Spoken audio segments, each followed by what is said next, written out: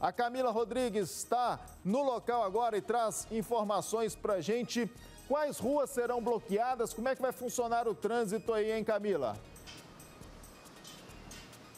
Marcelo, são alterações em três ruas aqui do setor Marista, a 146, 147 e a 143. A única que vai ficar bloqueada totalmente é a 143.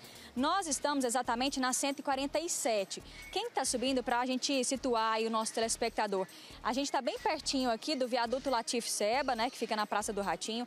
Quem está passando pelo 85 em direção à Praça Cívica, muitas vezes vira aqui na 147 para pegar a Avenida D. A pessoa passa passa aqui pela 147, passa aqui onde tem o sinaleiro e desce aqui, faz essa conversão à esquerda para pegar a Avenida D. Aqui vai estar tá liberado, como vocês estão vendo aí os carros passando, mas vai estar tá liberado em apenas uma pista. O que está proibido aqui na 147 e também na rua 146, que é uma rua que fica bem atrás aqui?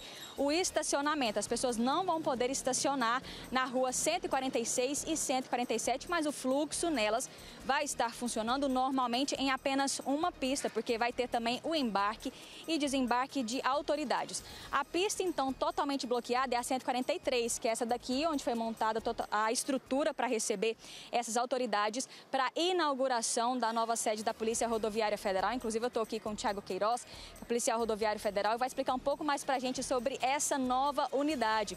A gente lembra que a unidade da PRF né, era no setor dos funcionários e agora ela está bem maior, bem mais ampla também, né? O que, que tem de diferente? Diferente aqui nessa nova sede da PRF em comparação com a antiga. Bom dia para o senhor. Bom dia, Camila. Bom dia a todos que acompanham a TV Record.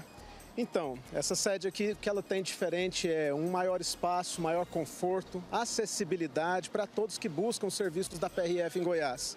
É uma sede que vai facilitar a busca pelos serviços de boletim de acidente de trânsito, formulário de indicação de condutor infrator, recurso de multa, Durante mais de 17 anos, a Polícia Rodoviária Federal esteve no setor dos funcionários numa infraestrutura que era inadequada aos serviços prestados para o cidadão. Uma infraestrutura que não tinha condições ideais de trabalho. Essa sede aqui vem fazer esse resgate, oferecer para a população os bons serviços prestados pela Polícia Rodoviária Federal.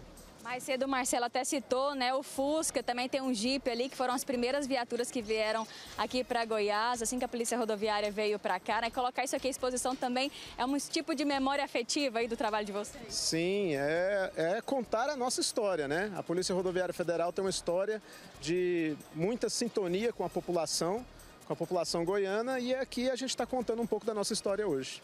Te agradeço muito pela sua participação e Marcelo, para a gente ter aí noção da importância desse evento, vão participar várias autoridades aqui, entre elas o prefeito de Goiânia, Rogério Cruz, o governador de Goiás, Ronaldo Caiado e também o ministro da Justiça e da Segurança Pública, o Torres. E todos eles vão estar aqui. Por isso que essas duas ruas, a 140, Anderson Torres, perdão. Por isso que essas duas ruas, a 146 e a 147, vão funcionar em apenas uma pista para que o outro lado fique disponível para para embarque e desembarque dessas autoridades. A rua 143 vai ficar totalmente bloqueada, que é essa aqui onde justamente está montado toda a estrutura para a inauguração desse durante esse evento, né? As, essas interdições, essas alterações, o Marcelo, vão perdurar até a uma hora da tarde, segundo a Secretaria Municipal de Mobilidade. Eles estão aqui com mais de 10 agentes fazendo o controle de todo esse trânsito, tanto aqui na 147 quanto também na 146. A gente continua por aqui aqui acompanhando toda essa movimentação. Marcelo. Maravilha, então. Obrigado, Camila. Obrigado também ao nosso entrevistado aí.